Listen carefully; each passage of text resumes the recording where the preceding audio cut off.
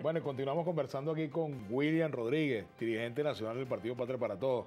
¿En qué se parece, en qué se parece el gobierno que ustedes soñaron en la Liga Socialista con este, a este gobierno de Nicolás Maduro?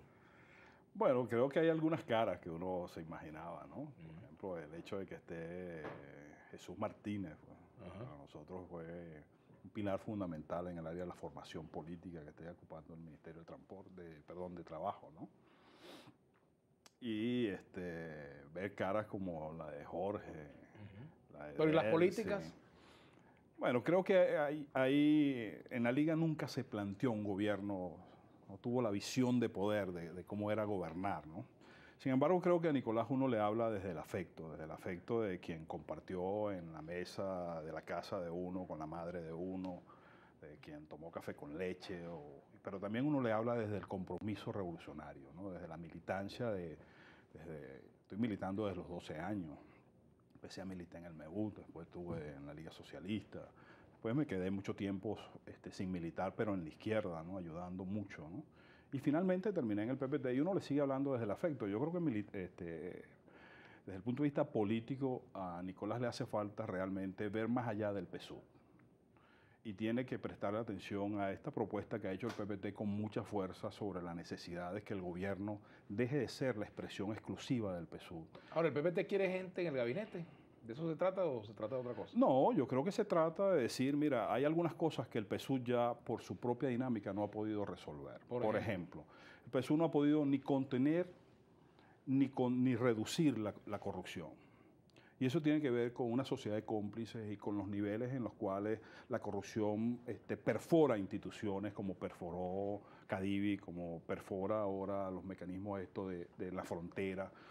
Y tampoco ha podido resolver el problema, por ejemplo, de la inflación. Creo que la inflación es una de las cosas que ha derrotado al gobierno durante todos estos años. Entonces uno tiene que mirar también a quién tiene alrededor que pueda ayudarte. Y creo que no se trata solamente de decir, mira, queremos un cargo, sino decir, mira, hay gente competente en los partidos aliados, en los movimientos sociales y en los frentes sociales que conforman el Gran Polo, que han ayudado a la victoria con Hugo Chávez y que ayudaron a la victoria con Nicolás y con casi todos estos gobernadores y alcaldes y que pueden hacer un aporte importante desde el punto de vista de aumentar, en primer lugar, el control social sobre la gestión que hay una profunda debilidad. Y cuando tú no predicas con el ejemplo, te cuesta mucho más hacer las cosas. William, ¿cómo observas el hecho de que en medio de un gobierno que se ufana de tener un presidente obrero, haya una situación de conflicto en Guayana y ha habido detenidos, ha habido descontento? Mira, yo ahí tengo una diferencia con muchos compañeros que militamos en, el campo de la izquierda, que ante la represión guardan silencio o bajan la cara. Yo creo que el gobierno y en especial Nicolás Maduro debe distanciarse de una política que pueda a todas luces lucir como represiva. Creo que la principal fortaleza que tiene el chavismo en su conjunto y que debe enarbolar Nicolás tiene que ser el diálogo. El diálogo con los factores afines e incluso el diálogo con los sectores que lo adversan porque eso le da más fortaleza y le permite de verdad identificar. En, en Sidor ha pasado de todo, ahí pasaron los neoliberales, ahí pasaron los marxistas, ahí pasaron militares, pero quienes no han pasado en Sidor son los trabajadores. Nunca se han atrevido a poner un trabajador al frente de esa empresa y yo me he negado históricamente a decir, no creo que en los años que tenemos de producción, de desarrollo de nuestra industria metalmecánica y nuestra industria siderúrgica, no tengamos allí en el seno de esa misma empresa gerentes con competencia y trabajadores con competencia para manejarlas y salir de la crisis. Yo me niego a creer eso. Me niego como profesional, me niego como venezolano y me niego como revolucionario que cree en el poder creador de este pueblo y que cree en el esfuerzo que queremos hacer muchísimo para salvar el socialismo en Venezuela. Ahora, William, tocando un tema que tiene que ver con las medidas económicas que el gobierno debería o no tomar.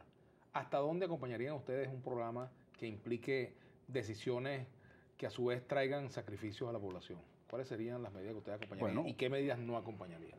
Por ejemplo, el aumento de la gasolina, creo que hay un consenso en la población y en, y en, el, y en el PPT sobre esa decisión que vaya acompañado con un plan de inversión y que evaluemos experiencias exitosas como la que yo te mencioné en Irán ahí no tendríamos ningún problema. Sin embargo, creo que el, desafío es explicarle a la gente el por qué.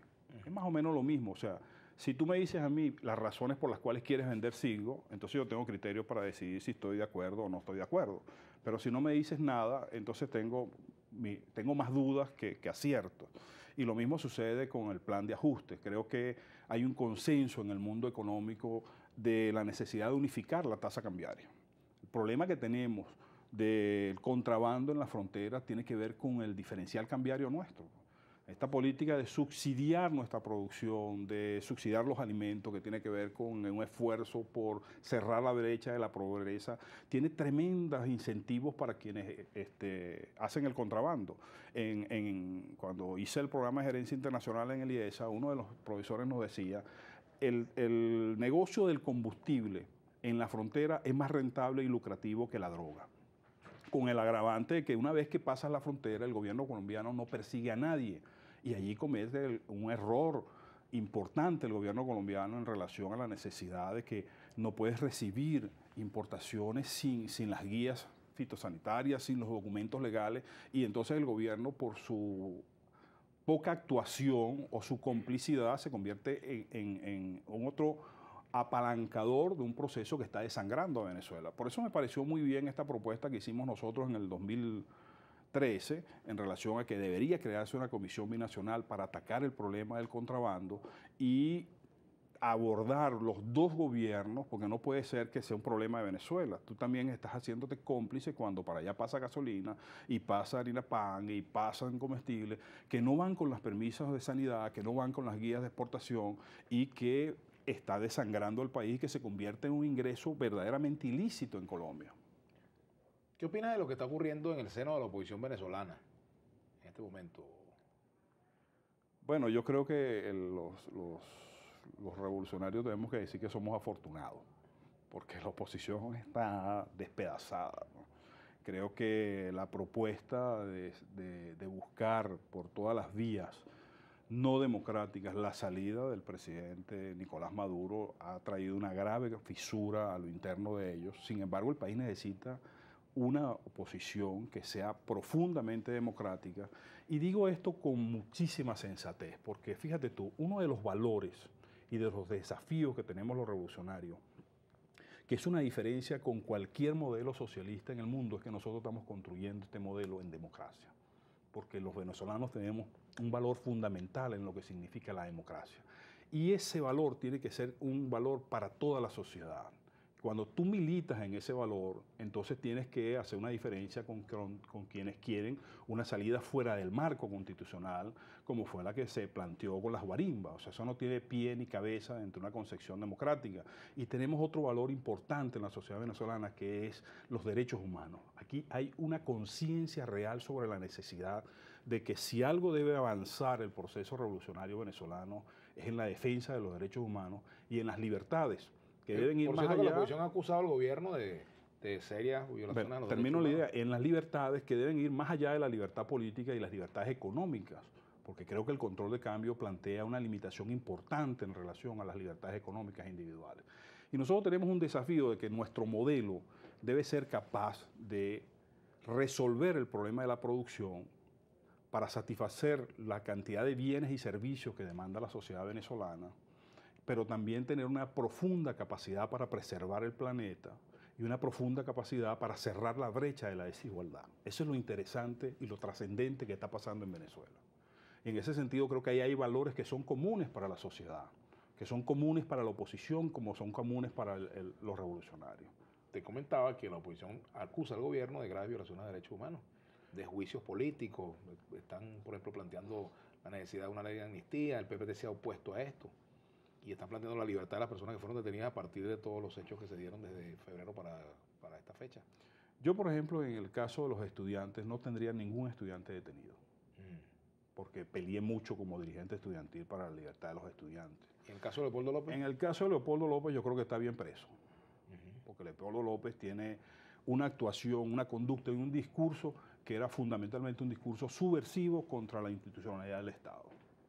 Y eso lo digo de manera muy clara y categórica. Yo ahí no tengo... Ahora, ¿qué sí creo en el caso de Leopoldo López? Que debe tener un juicio justo, que debe tener un juicio con todas las libertades y las garantías que da nuestro, nuestro estamento jurídico y que debe ser un juicio abierto y de manera clara y transparente. No puede ser un juicio parcializado, no puede ser un juicio donde no se acepten este, unas cosas sí, otras no, y que se juzgue con, con todo el peso de la justicia. En el caso de la amnistía que se ha propuesto, esa es una de las cosas que ha trancado la posibilidad de que avanzar el diálogo, porque la oposición pedía una muestra de buena voluntad en la conferencia de paz yo lo llamaba una prueba de amor, que era la posibilidad pues de, tomar decisiones en ese campo. El PPT se opuso. ¿Se sigue oponiendo? Se opuso fundamentalmente al caso de Simonovic, ¿no? Porque se decía que estaba muy enfermo, que estaba a punto de morirse. Incluso yo hice un artículo diciendo que si eso era verdad, en lo personal yo creí que Simonovic debería ser indultado.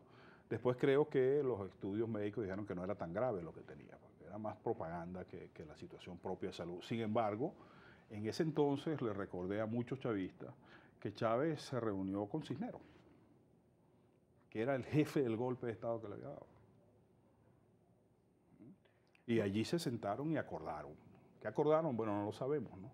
Pero qué problema había de sentarse realmente, hablar con la oposición y llegar a acuerdos que permitieran la gobernabilidad dentro del marco democrático y sin perder tú tus banderas.